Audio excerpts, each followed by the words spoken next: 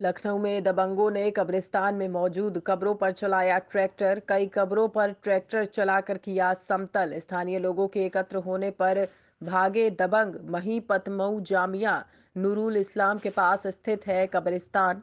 पूर्व प्रधान सगीर अहमद ने 2017 में कराई थी कब्रिस्तान की नपाई। दो माह पहले भी नगर निगम के लेखपाल आए थे। कब्रिस्तान की नपाई करने लगभग चौदह बीघे का रकबा है। कब्रिस्तान का पुलिस की सक्रियता से बड़ा बवाल होते होते बचा।